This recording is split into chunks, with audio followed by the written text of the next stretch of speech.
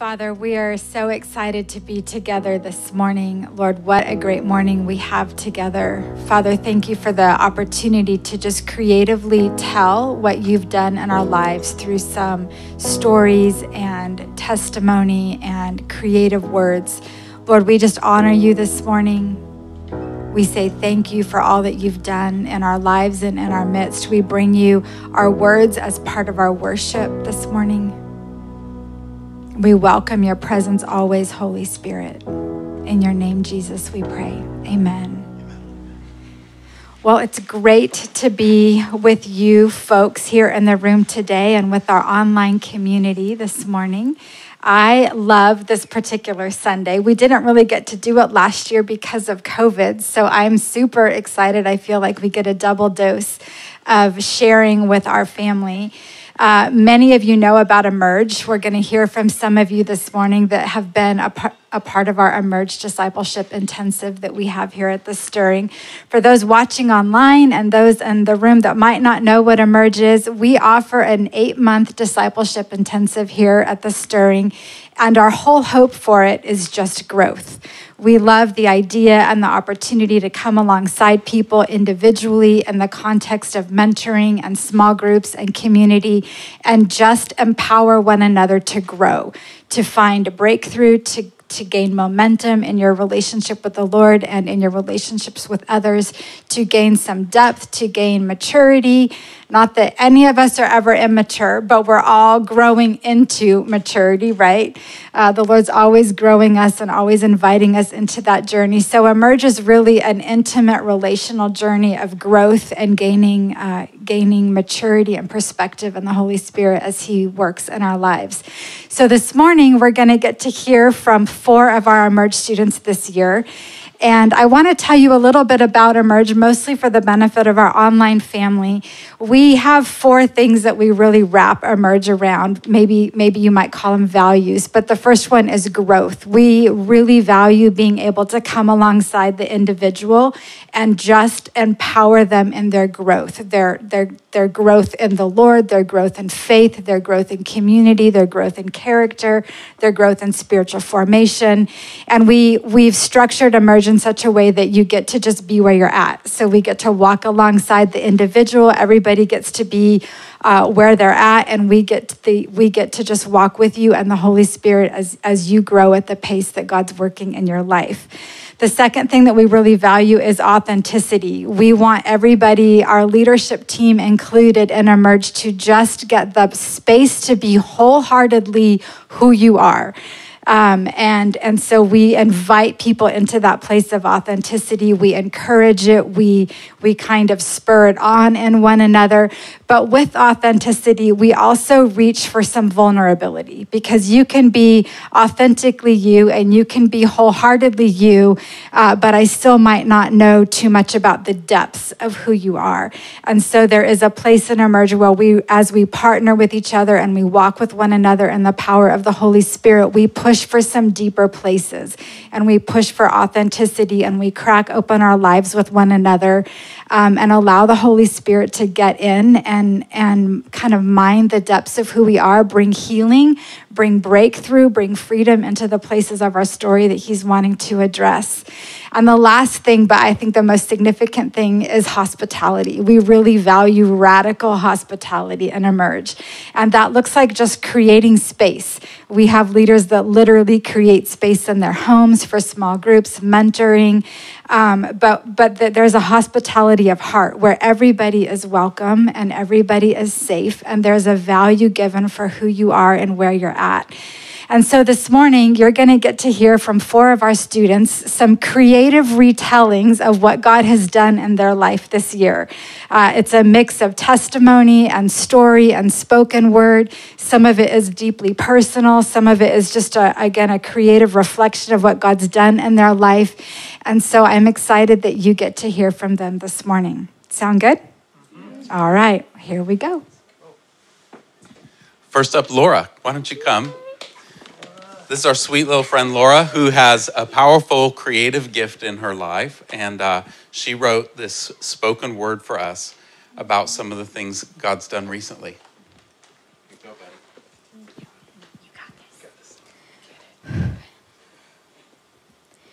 Shame, fear, insecurity, doubt.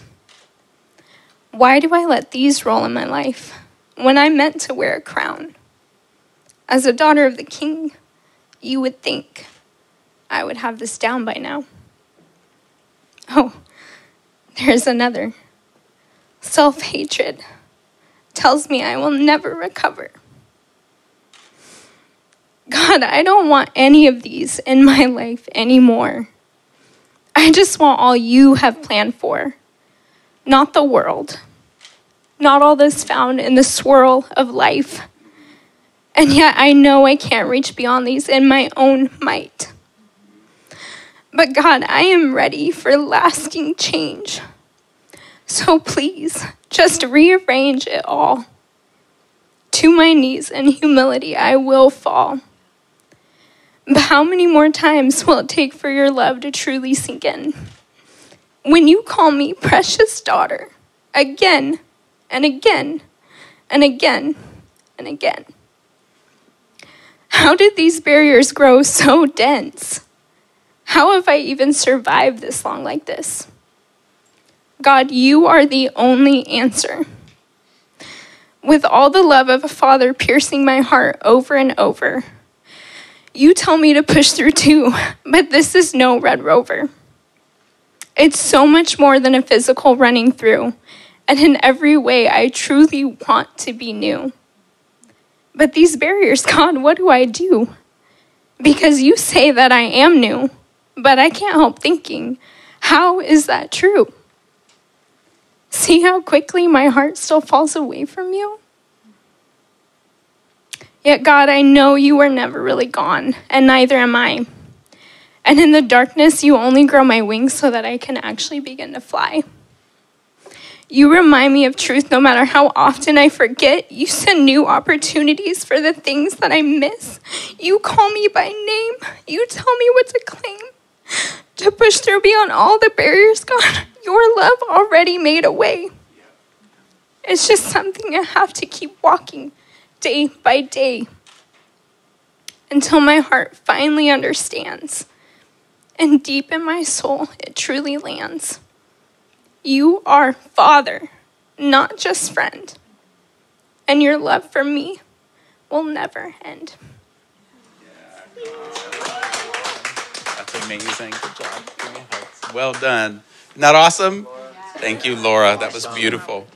Awesome. So next we have Ryan. Ryan's got a word for us this morning.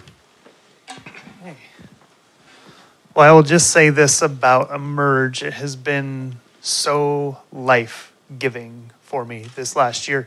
Uh, so, at one point, we were given an attribute of God to study. And really, this for me is what was kind of birthed, kind of a culmination out of what Amy talked about in the kind of dredging the depths and pulling everything out, and what, what God has really shown me in myself. Uh, so, I'm going to jump right in. My attribute was immutable and immutable doesn't mean that God is quiet or you can that you can mute him. It's actually that he doesn't change. Uh, James 1:17 puts it this way: Whatever is good and perfect is a gift coming from God, who created all the lights in the heavens. He never changes or casts a shifting shadow. So, what I want to do is I want to quickly focus on relationship and hope. This might sound a little strange, but I want to look at Jesus and Judas and that relationship and kind of what it shows us. Because when we look at it, uh, I think it shows us a tragically beautiful look into mankind, into humans, and God. Now, God is a relational God. He called Judas into relationship with him. He was a disciple, he was one of the 12. He walked with Jesus. When you read the New Testament and what Jesus was doing, Judas was there. But it's not in the moment of betrayal that actually got me when I really studied the story of Judas. It's, it's not the kiss, it's not the ear being cut off and the healing, it's not Jesus being led away to the cross. It's what Jesus said to Judas when he walked up to betray Jesus. Matthew 26 50 says, But Jesus said to him,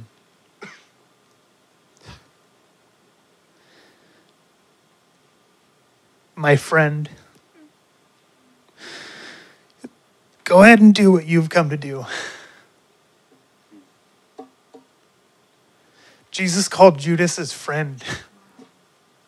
In that moment, everything they've been through, Jesus knowing what he was there for, the first words he said to him were, My friend. Pretty crazy stuff.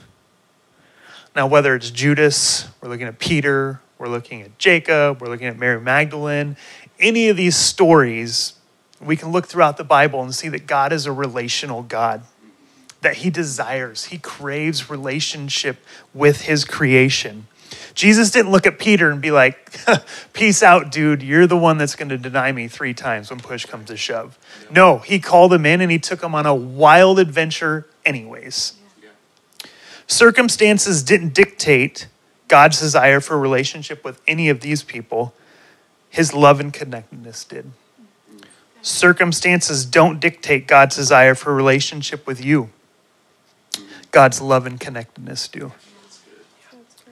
So, real quickly, I want to look at hope because there's also amazing hope here. If Jesus, the one who would betray Jesus, the one who would sell his soul for 30 pieces of silver, is still knowingly brought into relationship with Jesus, and remember, he's unchanging, he doesn't change, then for us today, there is nothing you could have done and nothing you could do that would ever disqualify you from a relationship with Jesus, with God. I want to read that again because this is really where the meat, this is really where I felt the heart of God was in this, was actually that there is nothing that you could do or that you will do or have done that will ever disqualify you from a relationship with Him.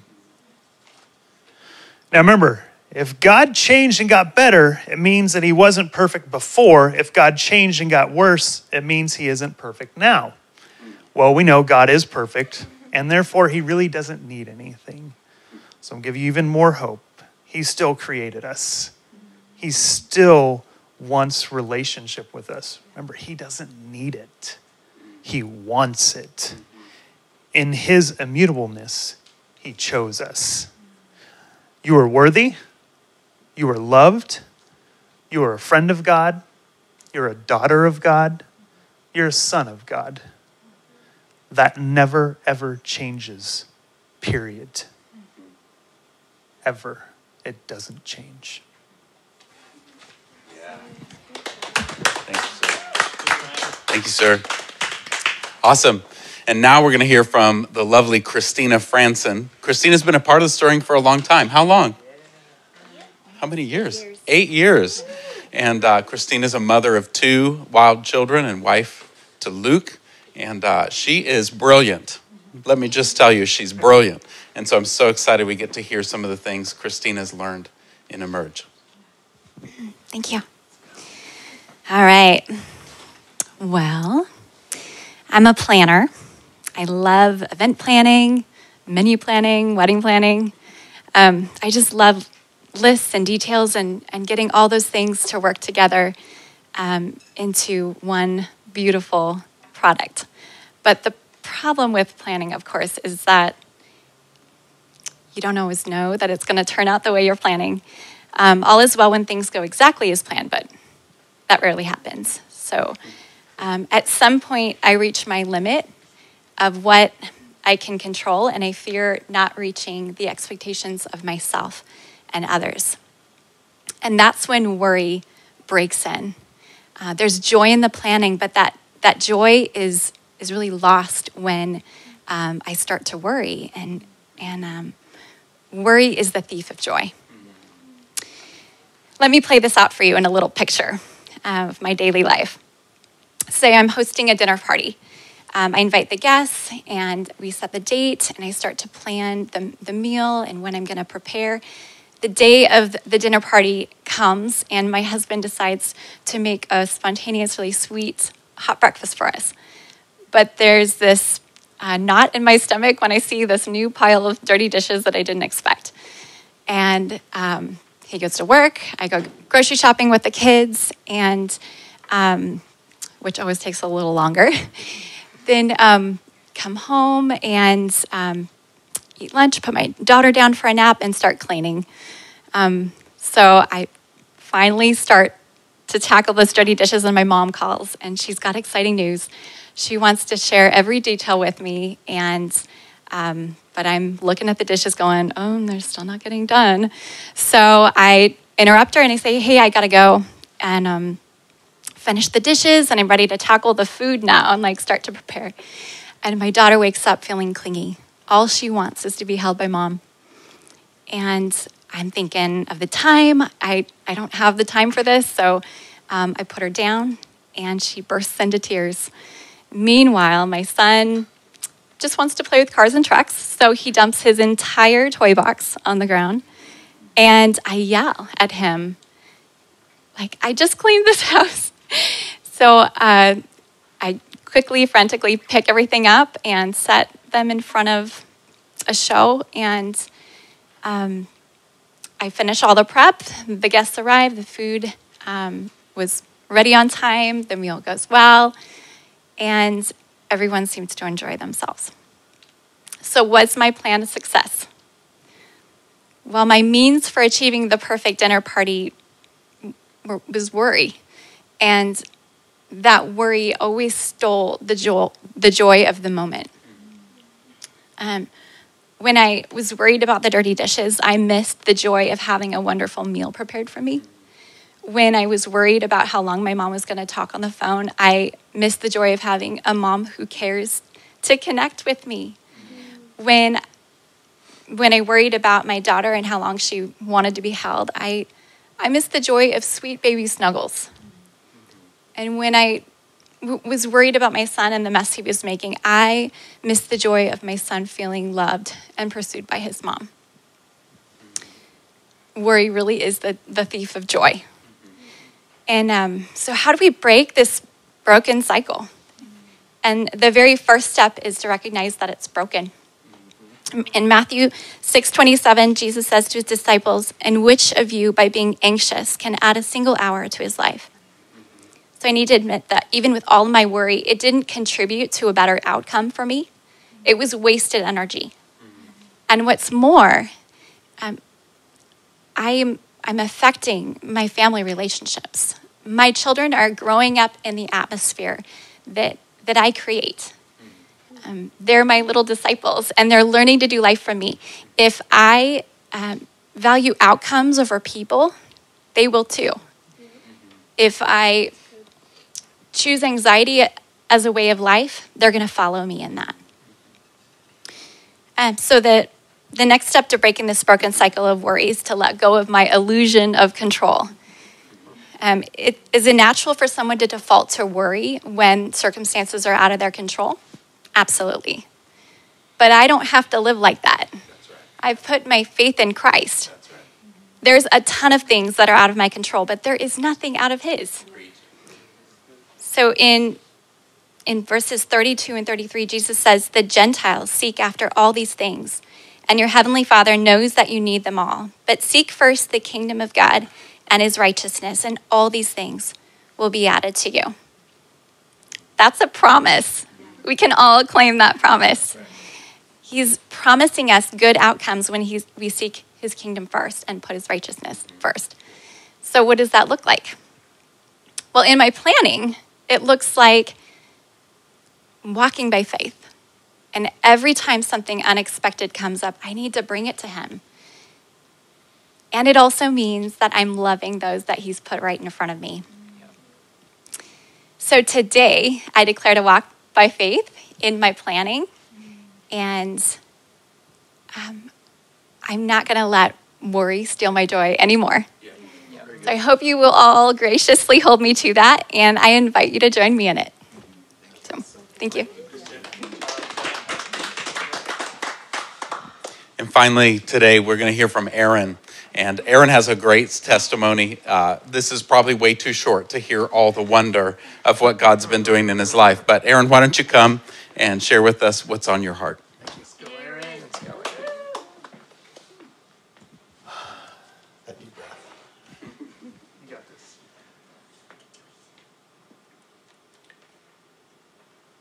Like our fi- like a fire was our 24 hour out loud Bible reading. And my section of the Bible were the Psalms 128 to 150. And my assignment or hot topic for this time was what, what impacts you in, in those Psalms. Um, as I was reading, I didn't like really what impacted me. I didn't like it at all, but that was the assignment.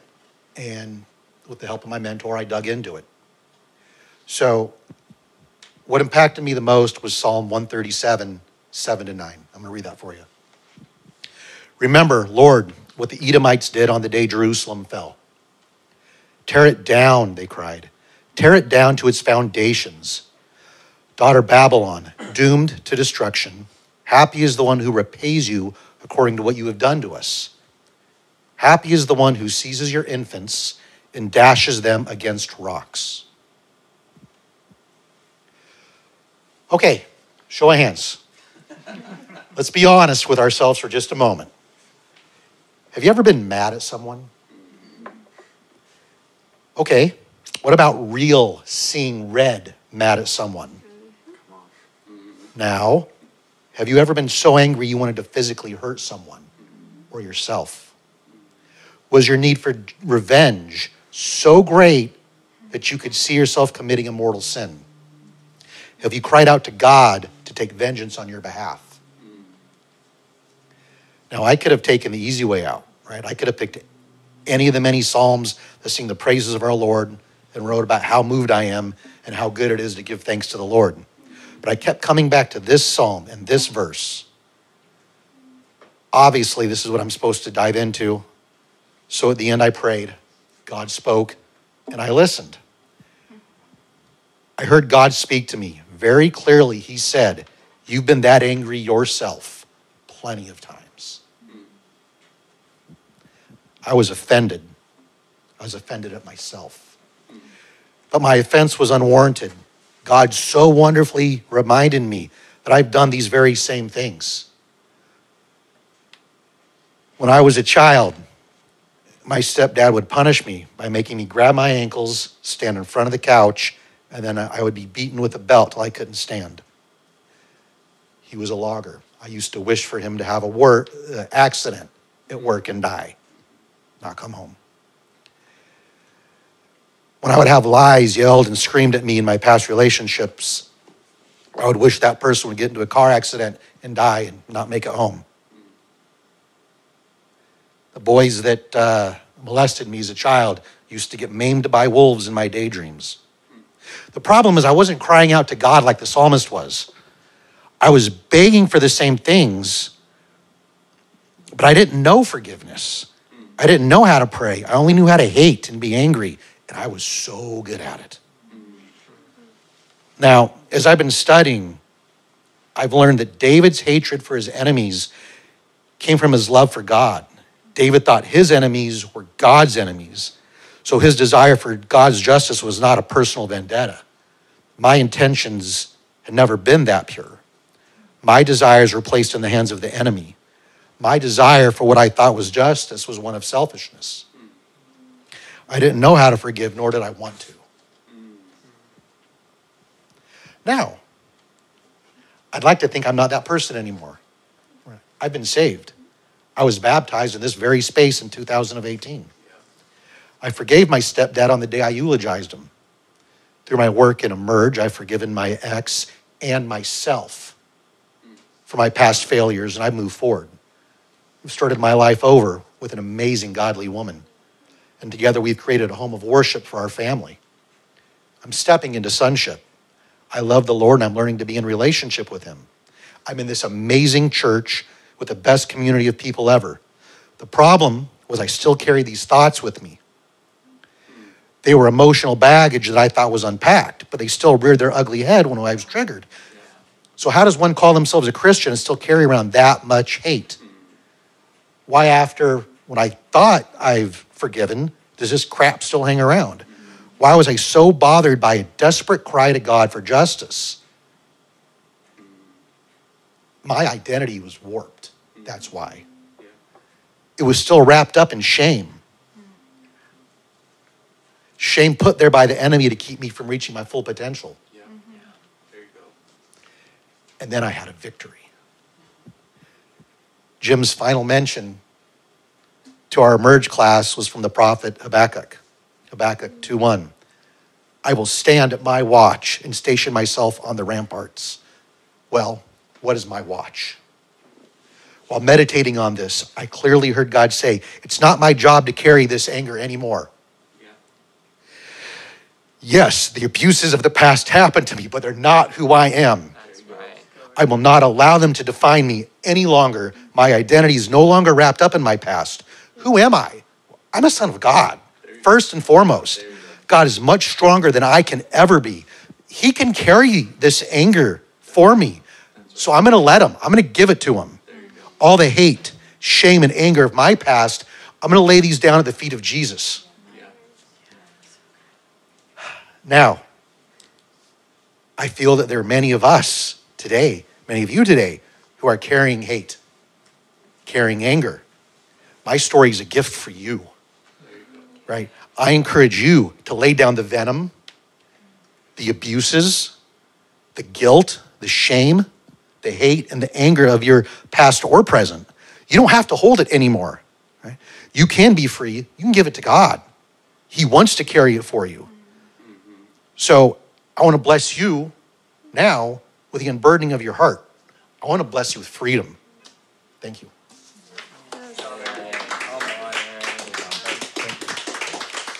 Wow. Wow. Well, there's that, right? you guys, well done. Good job. And I think all of our Emerge students have so many incredible stories to tell. I wish we could have had all 33 of them take five minutes and share their stories today. But thank you very much. And let's, let's take a minute and let's thank God.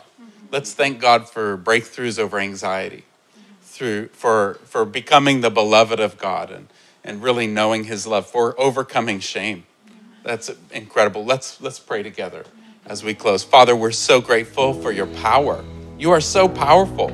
You break shame. You welcome us home when we're so far off. You, you destroy anxiety and you give us peace. And Lord, we're so grateful today for these stories and for the many other stories that we didn't have time to hear today of victory and overcoming. And Lord, we pray that these stories would touch lives in our city and lives around our country and even around the world uh, because your goodness and your grace is so amazing. Lord, thank you for what you do. In Jesus' name, amen.